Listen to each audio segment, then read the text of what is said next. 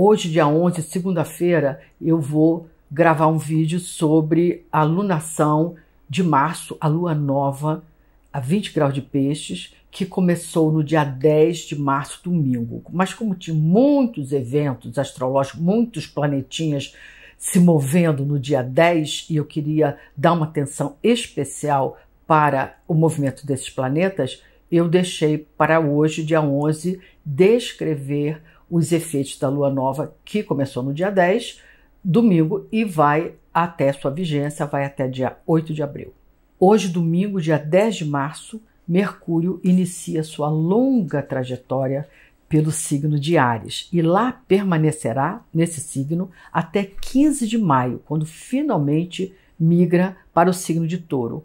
Mercúrio permanecerá um tempo mais longo no signo de Ares do que normalmente ele leva para atravessar um signo, porque ele vai entrar, Mercúrio vai entrar em movimento retrógrado entre 1 de abril e 25 de abril. Anota aí, porque essa é uma data assim fulminante, né? A passar de Mercúrio em movimento retrógrado, de 1 de abril a 25 de abril. Esse recuo que acontece com a retrogradação é que faz com que ele permaneça mais tempo no signo. Portanto, estamos aqui sob a regência de Mercúrio no signo de Ares até 15 de maio, quase dois meses e tal. O planeta da comunicação, transitando pelo signo de Ares, adverte: se tiver algo para dizer, vá direto ao ponto.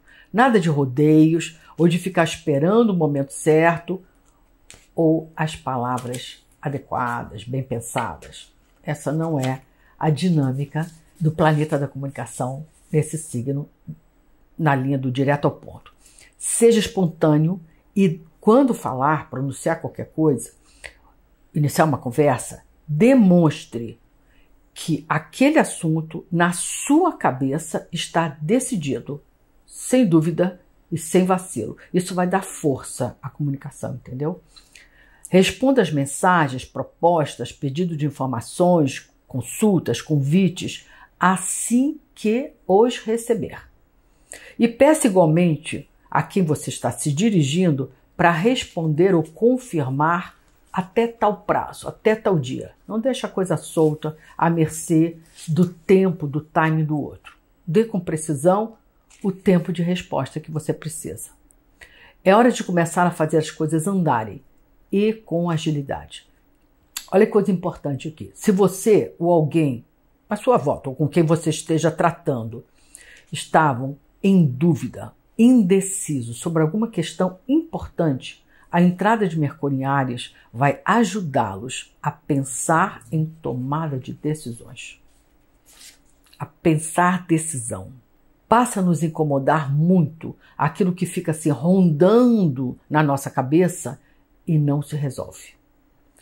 Dê preferência a conversas, textos, comunicados, reuniões, explicações curtas e com as informações à mão, explícitas e fáceis de acessar. Não fica mandando a pessoa para o site, para o link, todas as informações disponíveis de fácil leitura. Mercuriários. Poupe sua mente para assuntos que você possa resolver, interferir ou pôr em ação. O que estiver fora da sua área de intervenção fora da sua alçada ou fora do momento de você poder interferir, deixa para outro momento.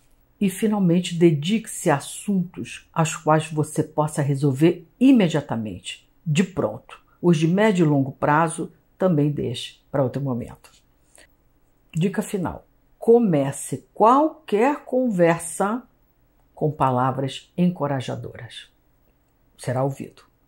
Ainda hoje, nesse mesmo dia, 10, domingo, logo na sua entrada no signo de Ares, Mercúrio dá as mãos a Plutão e juntos partem para resolver de vez, de forma corajosa, rápida, contundente, definitiva, assuntos que se arrastavam ou que vinham ocupando nossas mentes e nossas conversas já há algum tempo. A dupla Mercúrio-Plutão é imbatível em ir fundo na questão e sair de lá com uma solução radical e decisiva. Se algo tiver jeito, esses dois vão encontrar, vão achar o jeito. Tenha uma conversa franca, honesta, profunda com quem ou sobre o que ainda falta fazê-lo. Não tenha medo, o resultado será curador. Aproveite esse ciclo que vai durar praticamente um mês, porque está colado no mapa da lua nova. Portanto, sua vigência está garantida por todo esse ciclo da lua nova. Justamente para exames, diagnóstico, porque nada escapa à nossa investigação, à nossa busca quando estamos sob esse ciclo. Aproveite também para desenrolar papéis impossíveis, complicadíssimos. Essa dupla desamarra trâmites, documentos, papéis. Pode testar.